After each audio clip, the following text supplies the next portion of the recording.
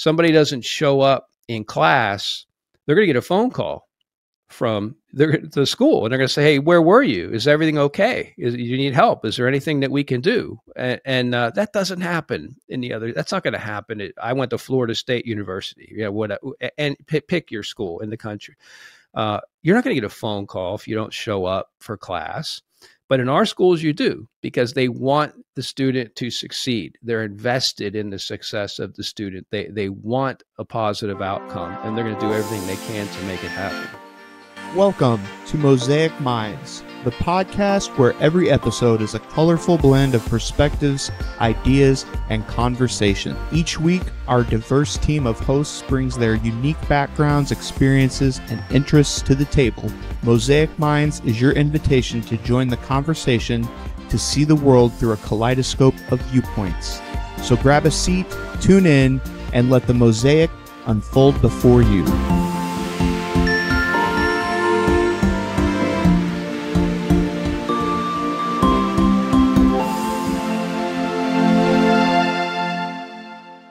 Welcome to another episode of Mosaic Minds podcast. My name is Nick, and to my right is Jason. And today we are joined by Dr. Jason Altmire. He is the president of Career Education Colleges and Universities, known as CECU. And he's a former congressman and a published author, and he's done plenty other things. But today we're having him on to talk about for profit colleges and trade schools kind of how they're looked at by um, by the government and by just just by people in general, and why they are looked at the way that they are. So, welcome to the show, Jason. And if you could, um, if you could just give us kind of a little background about you and kind of what brought you to what you're doing now as president of CECU. Sure. So CECU is an acronym. CECU, and as you said, it stands for Career Education Colleges and Universities. And we, as an association, are the national association that represents private post secondary career schools. And we're going to talk about that. But we have 1,100 campuses and affiliate members across North America. We have an alliance with Canada as well. And we represent all types of career schools aviation technicians, auto techs, nursing, the allied health fields in medical, cosmetology, culinary, all types of blue collar trades the welders, truck drivers, underwater construction divers, offshore wind turbines. And uh, we have a school in Louisiana that trains the offshore oil rigs guys. And the uh, we have school in Wyoming that does ranching. So all types of, of careers uh, among those 1,100 campuses. And I've been doing this. I lead the association, and I've been doing it for about four years now. And I, it came about because I spent actually most of my career in business, primarily in healthcare. I worked for two very large multi billion dollar healthcare companies. And in between those two stints, I did at some time in Congress. I served three terms as a, in the U.S. House of Representatives. And uh, during that time, I served on the higher education subcommittee as a Democrat. We're going to talk about some of the political issues related to private post secondary education. And this was during a time in the Obama administration when for profit schools were under attack uh, heavily regulated, heavily scrutinized, and and uh, in some quarters criticized.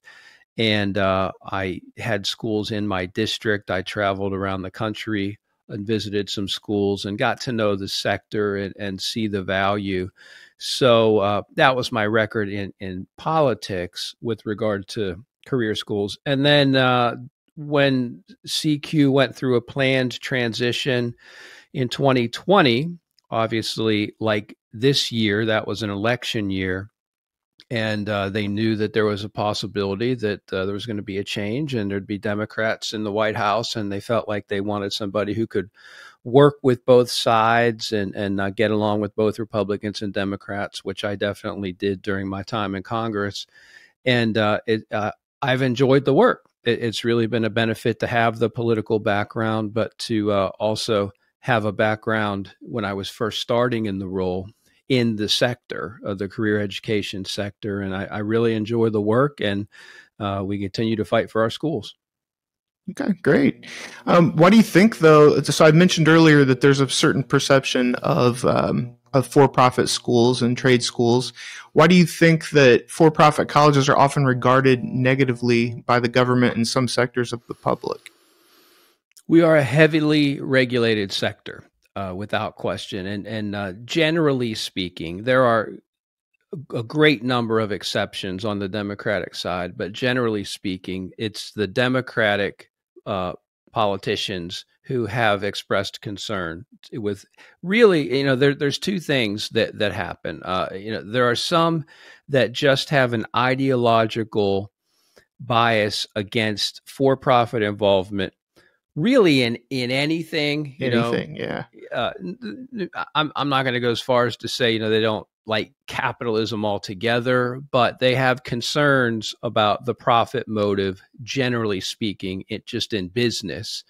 But in education in particular, they're very concerned. And that includes charter schools, K through 12, online program managers who work with schools, you know, the vendors, and yes, uh, for profit career schools, for profit colleges and universities.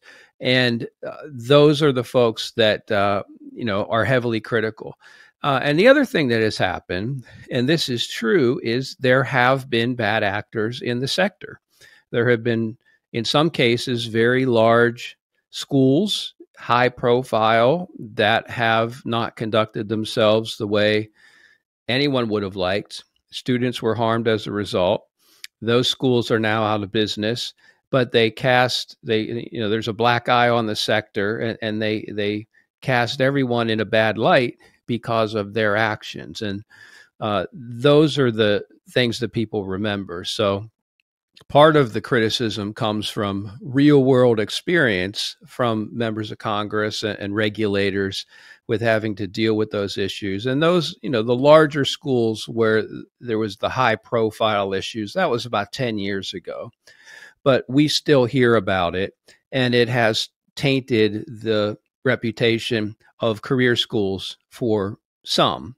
Um, but the other issue is there really is just an ideological disposition among some in the Democratic Party, uh, you know, just to, just to be concerned in general. So we deal with both of those issues. Can you could you share some of the success stories that CECU is has had um, when it comes to involving politicians and getting them out to campuses or getting them involved?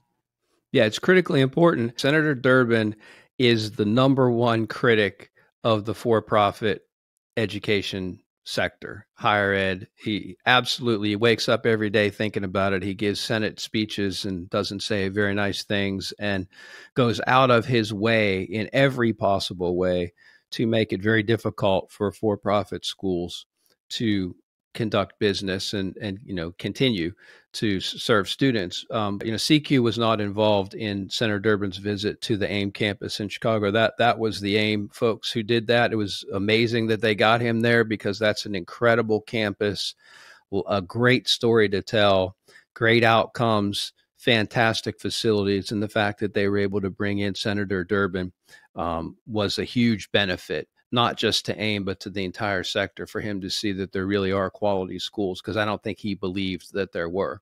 So that was not a CECU thing, that was an AIM thing.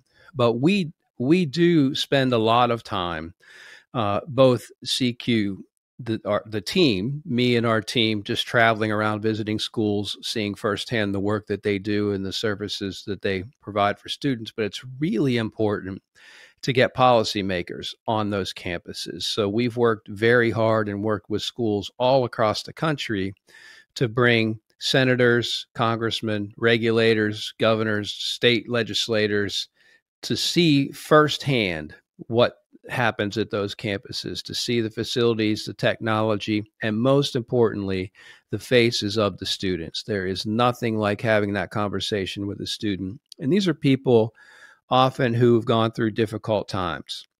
Single moms, veterans returning from the workforce, people being downsized, going through a divorce, you know, whatever it might be, and uh, maybe working one or two jobs on the side, really non traditional students. And the fact that our students are able to to offer them a high quality education and get them into a new career is amazing. It's life changing and it's very fulfilling for me. And I hope for the elected officials that visit to see those students and to hear their stories. And equally important are the stories of the employers that hire those students. And the best campus visits feature employers because those are third party validators. They can talk about the value that they place upon having that school as a pipeline to helping to solve the skills gap that you hear about the, the you know the people in high demand professions there aren't enough of them. I told you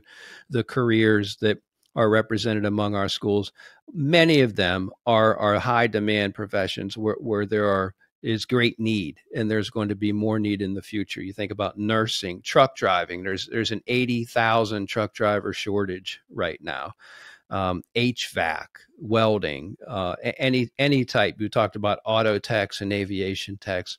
Those are professions where there's there's a gap in between the skills that are necessary, the number of people that are qualified to do the job, and our schools fill that need. So having the employer tell that story provides that third party validation. So that that's why we think it's really important for policymakers to visit the schools. For those of us like Jason and I that are that are in the sector, what are what are some recommendations that you would have to um, to solicit getting out politicians, getting politicians to come to the campus?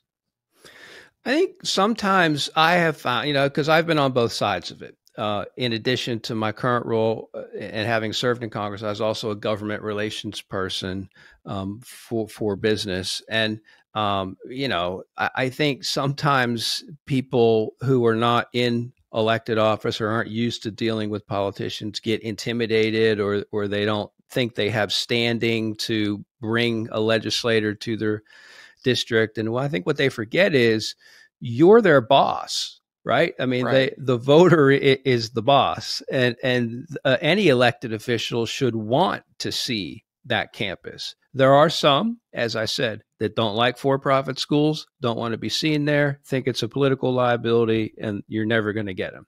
But I think those are few and far between. Most members of Congress and regulators, certainly, but also even state legislators, um, should want to go and see. Uh, if you're involved, even as a regulator, if you're involved in that issue, your daily career revolves around thinking about or in some way, you know, touches career schools, you should want to be educated in the subject with which you're you're doing business. So it, it's really valuable for them to see. Now, for an elected official, they you know they they they want to learn. Hopefully, if you're if you're good at what you do and and they're a quality elected official, you know, you should want to learn. But at minimum, every elected official wants to see voters and get reelected. And when they go to schools, they're going to see faculty, they're going to see students, they're going to see administrators, and probably they're going to see employers, large employers sometimes who are very important and prominent in their districts. So that's a home run for any mm-hmm. elected mm-hmm. official, in addition to, I think, the more important aspect of educating them and the opportunity to learn. Sure. I think tipping my cap to you, you know, my family has about 80 years in the education sector and it's a privilege to speak with you. And quite frankly, it's an honor, you know, moving forward. Uh, talk to me a little bit about the cross section between politics and the sector that you're currently in with the jobs in Indianapolis, the jobs in uh, Philadelphia, the jobs in Pittsburgh, since you're familiar with that Philadelphia area, the Pittsburgh area. Talk to me a little bit about how the sector that we have and that you're part of services those main um, brick and mortar positions within the cities that, that were aforementioned. Yeah, it, it's all over the country, but we have this conversation all the time with people who don't like the for-profit schools. I mean, there are some that literally wake up every day and they want to put for-profit schools out of business. And we ask them this question. 85% of cosmetologists that have a certificate come from a for-profit school. They got their training and education at a for-profit school. More than half the truck drivers in the country got their training at a for-profit school you're with AIM, and as you're well aware, AIM by themselves trains 25% of aviation technicians, but 40% of aviation technicians across the country receive their education and training at a for profit school. Same for auto technicians. 66%, two thirds of allied health professionals, so dental assisting, medical assisting, and, and other allied health, come from a for profit school. So, so we ask the question where, you, where are you going to get these people? If, if, if you're going to put our schools out of business and you're going to prevent students from receiving that education and that very valuable training and and help in that pipeline for high demand jobs where are they going to come from? Uh, so if you know the example i use related to aviation techs if you're sitting on an airplane and you look at those men and women working around the plane you want two things. You want them to be really good at what they do and you want there to be a lot of them. And if you put the for profit schools out of business, you're going to lose 40% of the pipeline mm-hmm. for just those jobs. And again, it, it, it translates across various professions. 25% of the nurses in the country come from a for profit school. Uh, welders, about, about 20, 25% of welders as well. So, uh, you know, HVAC during the summer, and, and uh, you know in the Sun Belt, you you need HVAC. You, you, you the, those are very valuable, and, and when you call someone, you want them to be available. So we we have that conversation all the time with the policymakers that you know there is a huge consequence to going down the road of making it difficult for for-profit schools to serve students because you're going to lose the pipeline for jobs that are very important in the country. Yeah, whether it's um, whether it's policymakers or whether it's taxpayers, what are some of the common misconceptions about career colleges that that you have to um, that you have to address? Well, uh, the, the misconceptions vary, and and uh, you know I think most most normal people, and by normal I mean non politicians. You know I can say that having been a politician myself, but um, you know, politicians live in a different world, right? And they have different motivations. But most most folks are just normal people who wake up every day thinking about something other than politics. They wonder who's their sports team playing tonight, what time's my kids' activity, what do we got planned for the weekend, whatever.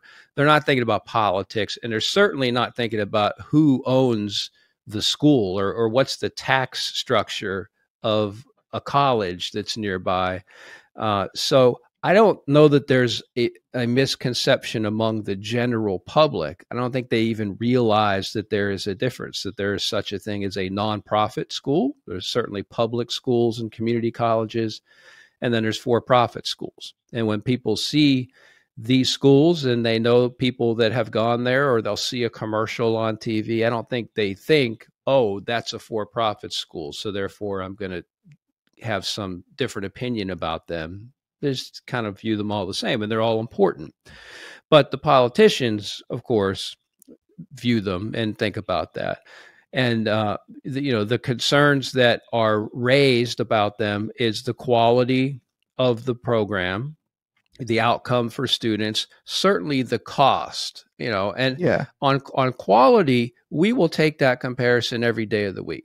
And there's really two sides of the for profit sector. It's important to point this out. Uh, you know, and th- this applies all across higher education, but for for profit schools, you, you have two sides. You have the four year online liberal arts schools, you know, they're serving students in a way that they get a bachelor's degree or higher, master's, even doctorate. But then you have the career schools that we're talking about that, for the most part, our certificate programs or, or AAs. Um, nursing programs can go all the way up to to doctorate. So can uh, cybersecurity and some other some other programs. But for the most part, you, you have the online four year schools, and then you have the career schools, the hands on skilled trades, and there's a difference there. And in higher education, there's a move towards more online programs and that you know penn state global southern new hampshire maryland global it's not just in the for-profit sector and people understand the difference and the challenge of looking at outcomes in those programs is students join online programs for different reasons.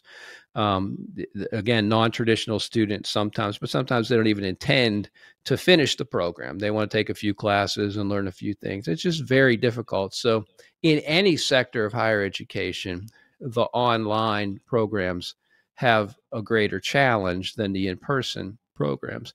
But when our critics compare our schools, they conflate all of that. They lump them all together in a way that they don't do when they look at programs in other sides of the sector. So we will if you want to look at the outcomes of career schools, all those programs I talked about, all the careers that that we're training people to get into, um, we will compare ourselves to community college. You want to look at graduation rates? Please do so please look at the graduation rates of community colleges and compare them to the graduation yeah. rates of our career schools. Our, ours, to be accredited, you have to have a 70% plus graduation rate for most accreditors.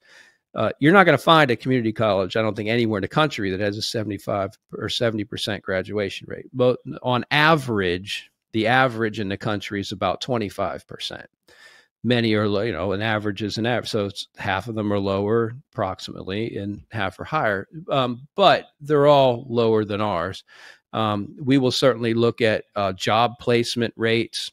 Now they'll criticize us based upon cost and cost is going to be different because our schools are not subsidized in the same way that community colleges are community colleges get huge public subsidies taxpayer funded subsidies from states and even from the federal government. But a lot of that flows through the states, hundreds of millions of dollars. So that offsets the cost of tuition. And it's why in many community colleges, the costs are much lower. And in some states, community colleges are now free, especially for low income people. You're starting to see a move in that direction. So, yes, there's a difference on cost, but we in our sector are serving a different student mix. There's students again non-traditional. They might need a lot of flexibility in their programs, ability to go to school at night. I can promise you our student services are superior to, or equal or better than anywhere that, that you will find. There's many good for pro, or nonprofit and public schools with student services, but we prioritize that and when you look at all of that together, we want people to to take a look at those those outcomes. You know, please take a look at the way we serve students. If you're, I'm sure at your campus, but you know, really any of our schools that I have visited, I've been very impressed because I always hear the story. Somebody doesn't show up in class, they're going to get a phone call right. from yeah. the school. And they're going to say hey where were you? Is everything okay? Is, you need help? Is there anything that we can do? And, and uh, that doesn't happen in the other that's not going to happen it, i went to florida state university you know what and pick, pick your school in the country.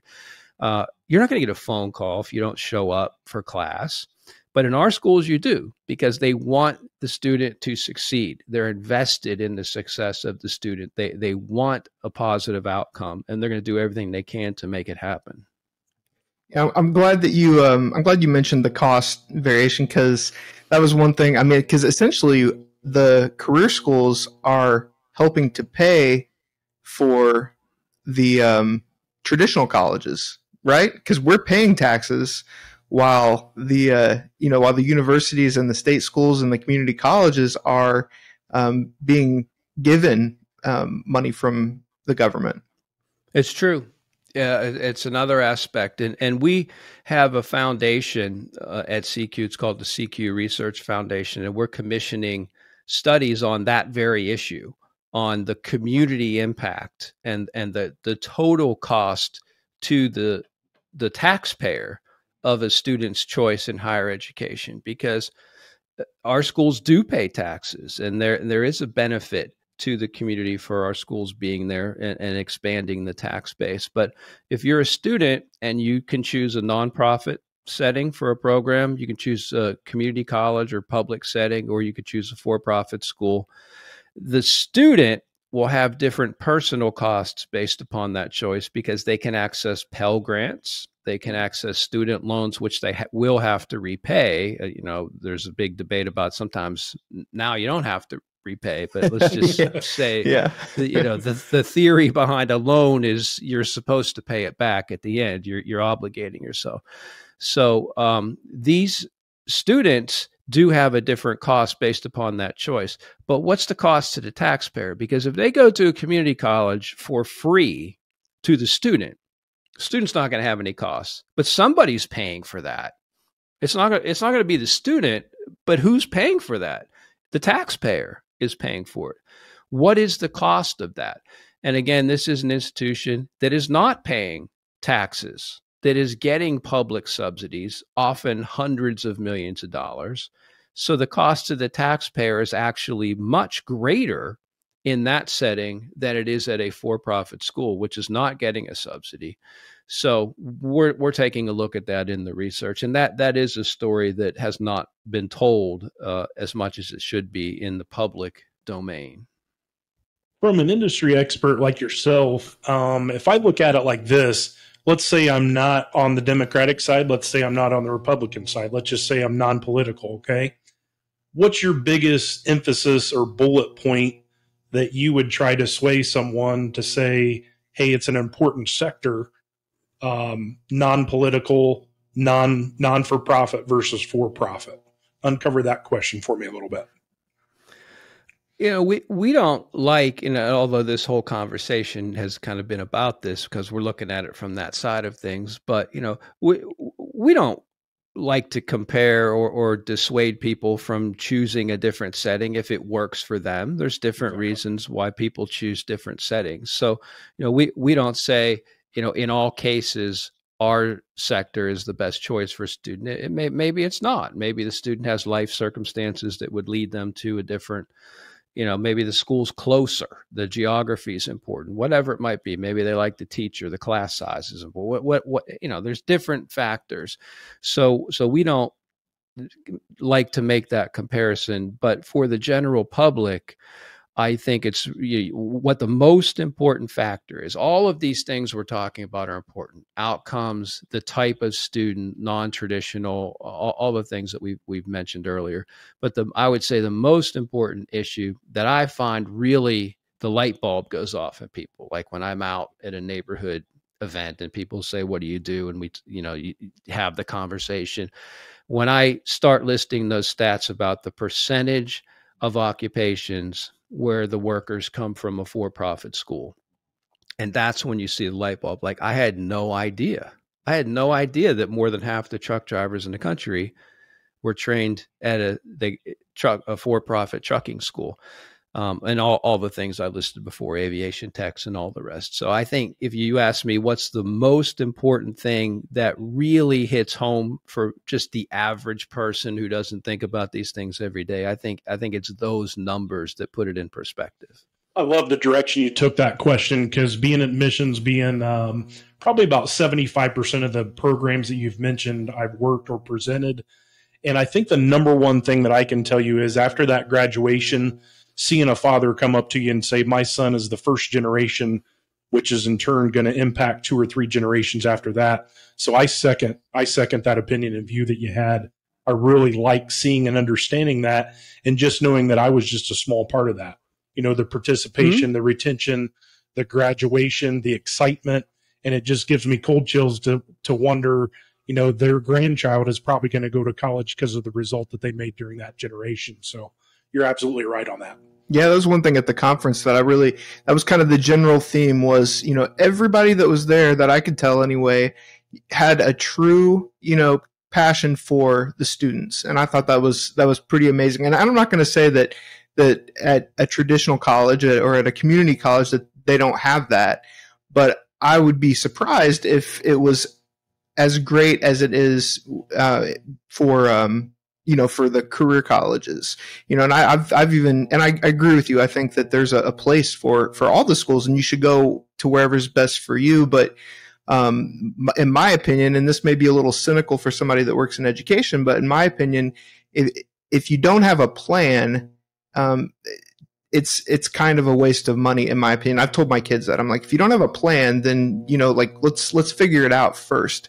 My my oldest child, she goes to a, a traditional college, and then my um my my son that's a senior this year in high school, um, I'm I'm actually trying to get him to come to uh, to where I work, you know, because because I think he'd be great at that, you know, and I think that's that would be more his thing. He's very intelligent, but I don't think he, he's kind of like me. I don't know that he would want to do um, a bunch of papers and, and read a whole bunch of books and you know and, and all that. So I think you're right. I think it just I think there's a place for for all of them, but you just I think it, the big theme, especially with career schools, is you have to have you need to have a plan and you know those are so pointed to a certain industry or a certain uh, vocation that um, i think that's one of the advantages that that those those kind of schools have you kind of lead me in, a little bit different direction which is important to talk about and that is the role of of women students in career education um, which I'll get to. And the reason I thought of it is is this issue that you're talking about with having a plan.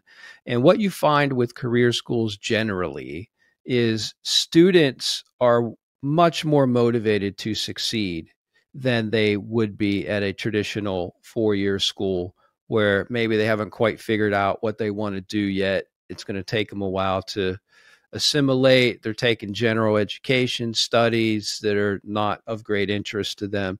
But if you choose a career school, especially if you're a non traditional student going through a tough time, maybe a little bit later in life, and you've got family obligations and maybe a job on the side to juggle, you are going to make it work. You're there for a reason, and, and you do have a plan. And the reason that made me think of women students is incredibly and very in a very positively um, many of these, especially the skilled trades. Now, the nursing programs and even the allied health programs are, are majority women. You know, they're they're mostly women. There there are a lot of men that go through that career path too, but for the skilled trades, that's traditionally been men, overwhelmingly ninety percent plus men. But more and more, you're seeing women get into these programs, and I'm talking about welders, truck drivers, construction, heavy equipment, you know, the the the you know, get your hands dirty type jobs, aviation techs, which which you all do. Um, more women. So and, and AIM has prioritized getting more women, the outreach and and expanding the student population.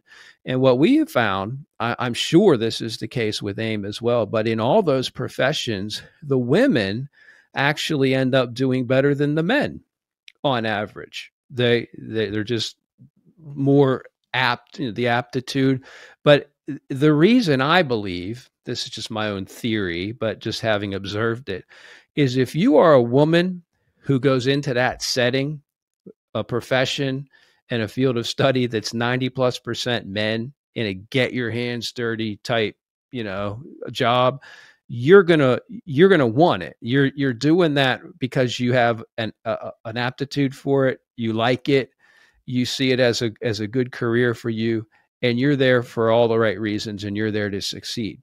And men, you know, they're there too, but for the same reasons. But the women are just singularly focused on I'm going to show them, and I'm going to do this and succeed. So it's really gratifying to see the attitude that these students have, especially the women when they come in and they know in some cases this might be their last chance they might have tr- tried another setting of higher education. It, it didn't work out. They might have tried, you know, they transferred over from a different school or they've been out of school for a while.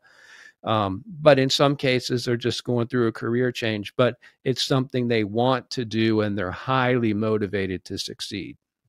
That's true. That's true. Cause, because like I'd say 10 years ago at AIM, we had far, far less our our demographic of women to men was far less. But yeah, we have quite a few now.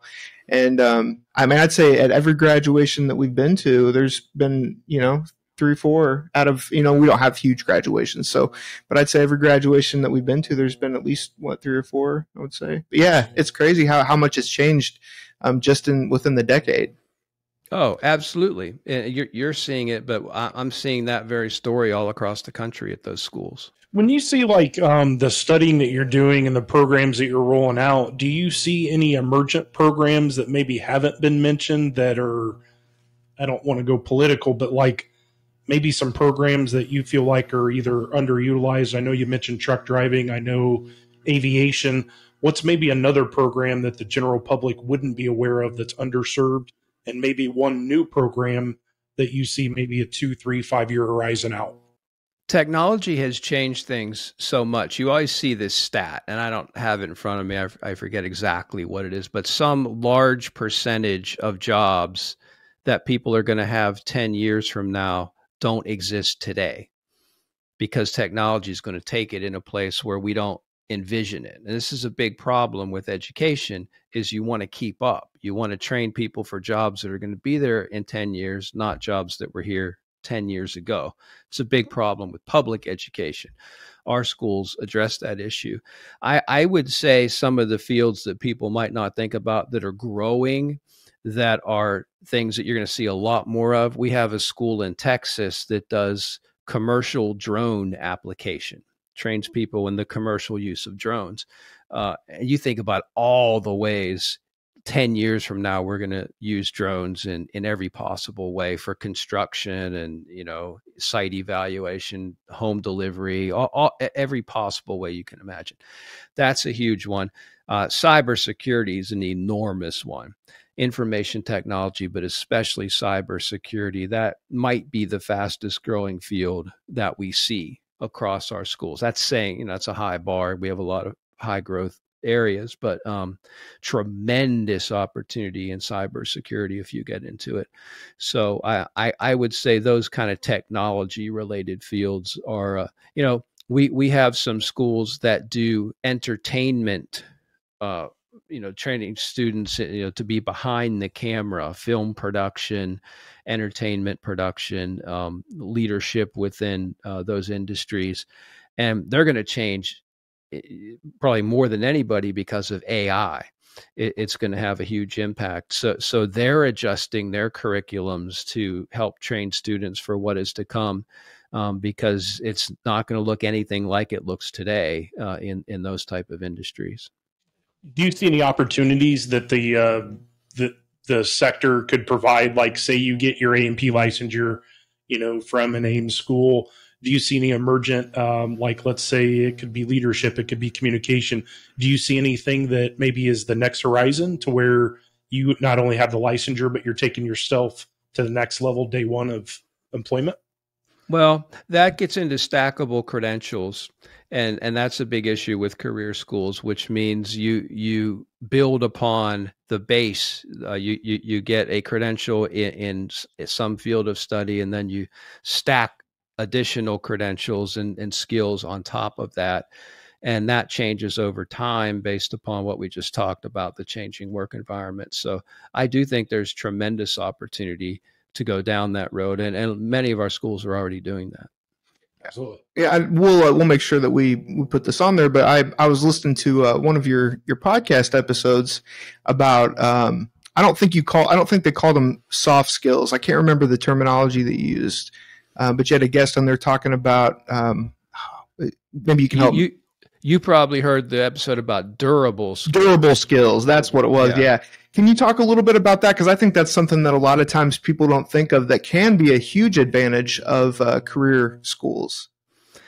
Well, soft skills are very important too. So uh, that's important to think about. Durable skills are the skills that translate across different professions and uh, you know just in life generally you know being able to uh, you know leadership qualities you know th- uh, business management th- things that are going to help you throughout your career. And uh, that podcast episode was very interesting because they were talking about the difference between schools and the success rate of students in the long term because there have has been some research on this uh, when they learn those durable skills how to write well you know being a good writer being a good public speaker being being able to socialize and and and interact with people without having to do it by text on your phone, whatever it might be. Um, those are durable skills. Those are skills that are going to last you throughout your life, and they're going to be a, you're going to be able to translate those across different fields of study and just in your personal life. Soft skills are uh, the ability, you know, a lot of, again, especially with students who come from a, a, difficult background, often they don't relate well to people. They're shy. They're not they're per you know they, they don't have an outgoing personality and you know being an extrovert um, so a soft the soft skills are, are more about you, you know you, you can be technically competent at what you do but if you can't relate to people effectively it's going to really hold you back in your career. So being able to teach students uh, soft skills is important. And, and in a field like let let's use cosmetology as an example, business and entrepreneurship is important. So you learn the technical skills of everything that goes into the beauty and wellness sector, cosmetology, uh, massage therapy, whatever it might be. But you have an opportunity to run your own business at some point. You build a client base that's those those are entrepreneurs too. So being able to teach those students business skills entrepreneurial skills and the soft skills to go along with the customer service aspect finance uh, financial literacy um, those are things that people don't really think about but they're really important to students as they grow in their career and if they want to own their own business can you share a couple? Because I know you did at the conference. Can you share a couple success stories when it comes to just like uh, specific examples that you gave um, of people that specifically came from um, a career school? There's so many, and, and I, I, don't. There, there, there's one in particular. There's, there's a lot, but uh, the entertainment school has had has had. Uh, Full Sail University in Florida, but there are others. Um, but Full Sail in particular, every year when the Grammys, the Emmys, the Oscars are announced, they will have literally dozens of students that are in, in either nominated themselves or among teams that are nominated. So graduates, uh, wow. uh, it, it, and and then invariably, you know, when the winners are announced, there, there's some number of them too.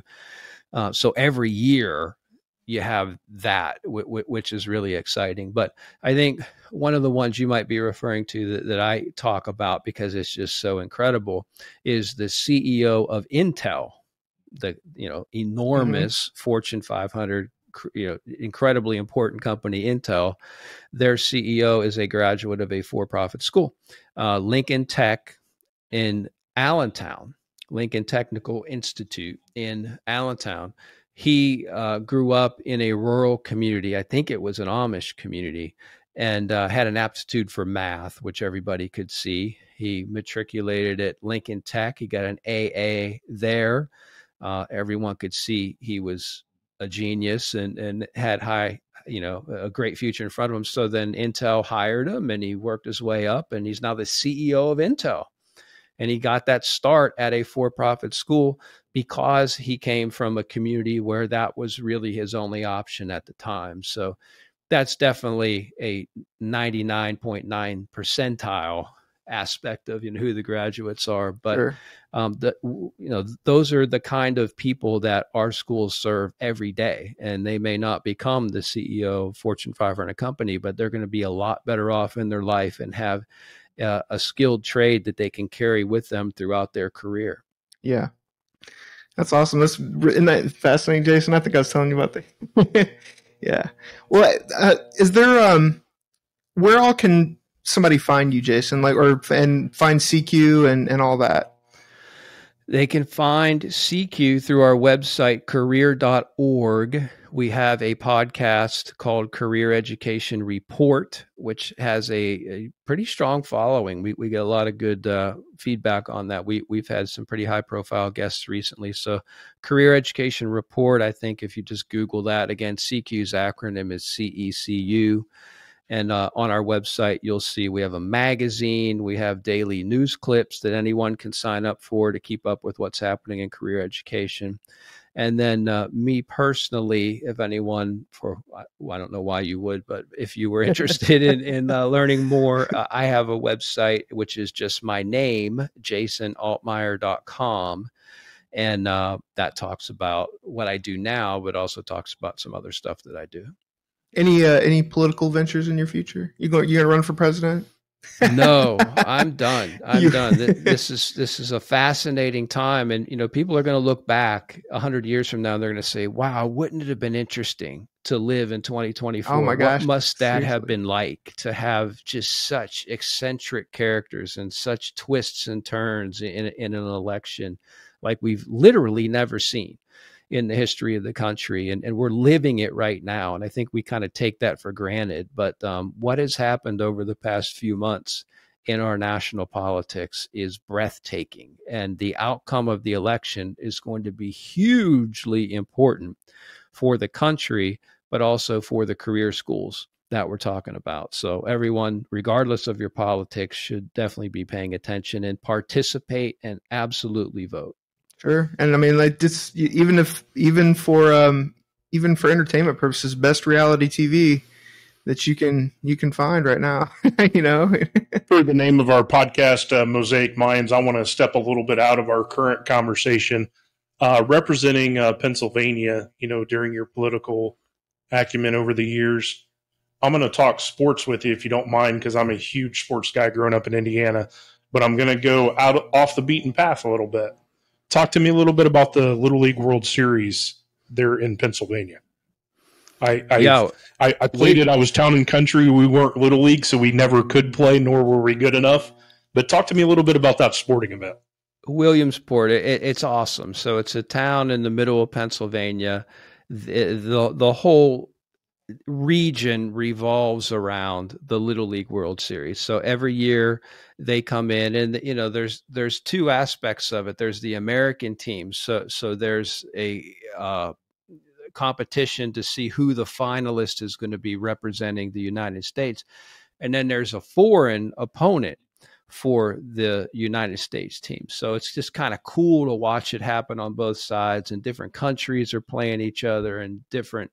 Uh, you know, and they're, this part is not always in Williamsport. You know, it works its way up, but um, when they get to the finals, the you know, and, and the playoff aspect of it, the Little League World Series, it just the whole town just revolves around this, and to see these young, uh, I guess they're 11 12 Yes. age approximately that that you know young kids uh just having the time of their life and and having the spotlight shine upon them it, it's just really cool to watch and and you can see it on I think ESPN covers it. It's definitely on TV. It's it's fun, you know. It's kids having fun, but they take it seriously. And if you win, you are the world Exactly. champions, legitimately, because you have beaten the best team. And these are all star teams, you know, fr- from the other countries. These are the absolute best that the other countries have. So it, it it's a big deal for these, and they will certainly remember it for the rest of their lives. I think it's very nice to interview someone like yourself. You know, you're you're fully humble. You're you're you're you're fighting for what I believe is a good cause. You know what I mean? The servicing underutilized industries. You know, keep doing, keep fighting a good fight. You know, it was, it was a pleasure meeting you, uh, talking with you. I know Nick had great things to say about you, and I look forward to this day. I, I couldn't wait to to get out of work and uh, have this conversation. So I know it's been a pleasure for me representing the sector and having someone fighting for the causes and uh, and and being very humble to talk with us and spend time out of their evening, you know, to give us information about the sector as a whole. So I really appreciate that. yeah, I really appreciate you taking the time out for us, Jason. I am happy to do it. I appreciate you asking. And uh, next time, if you want to spend the whole time talking sports, we can do that too. Jason, Jason would fun. love that. I had to keep it to a minimum because I like the topic. I'm, I'm very passionate about it. You know, I spent some of my early days on spring break. You know, mom and dad were high school special needs instructors.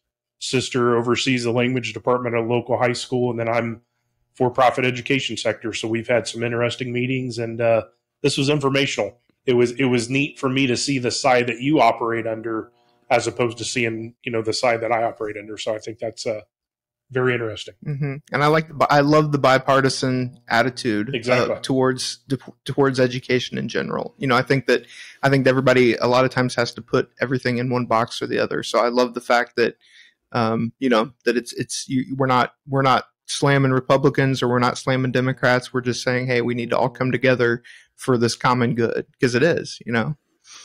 It's really important. Yeah, you have to get along with both sides. And as a country, we need to be better at that. All right, Jason. Well, hey, you have a great e- evening, and hey, maybe we can have you back sometime. Thank you. Appreciate you having me on. Absolutely. Take care.